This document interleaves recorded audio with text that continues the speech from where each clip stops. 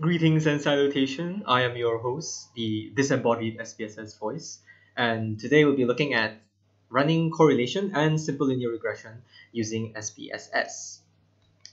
Now, first of all, let's take a look at what variables are we dealing today. We're actually only going to look at self-esteem and success level for today's video. Uh, there's another variable called overcompensation, but it's not really relevant right now, much like my sense of humor. So yes, we'll only be looking at these two variables.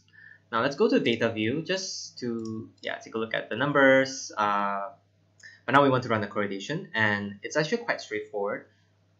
You just need to go to analyze, correlate, and click on bivariate, bivariate meaning two variables. Oh, let me just reset that. All right, so we want to look at the correlation between self-esteem and success level and all we need to do is slot them into the variables box like so. You notice that you have a correlation coefficients box over here and by default Pearson is ticked but if you want non-parametric correlations you can click on Kendall's tau or Spearman's rho over here. I'm just going to click it for demonstration purposes.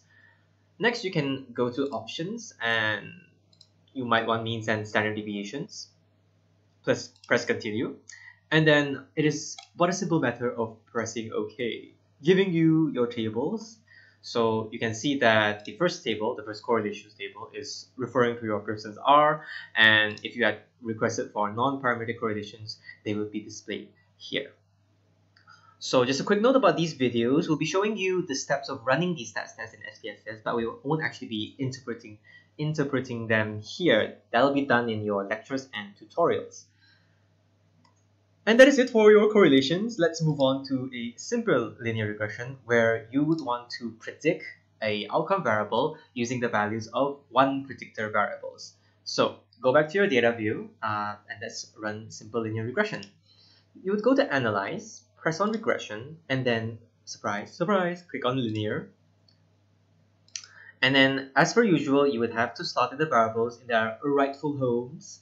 So in the dependent box, I want you guys to slot in the success level. Okay. and then for the independent box, you would slot in the self-esteem. So we're looking at whether self-esteem can predict success level. You can also go to options sorry, statistics and click on descriptives again to get your means and standard deviations as well as your confidence intervals. I like to leave mine at 95. Uh, then you can press continue and press OK.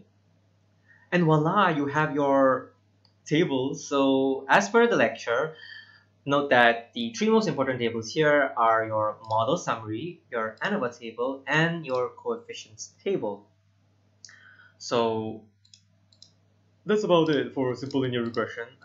Do take note that uh, I haven't shown you how to check for assumptions. We'll cover that in a later video, but for now, that's how you would run a very basic, very simple, simple linear regression.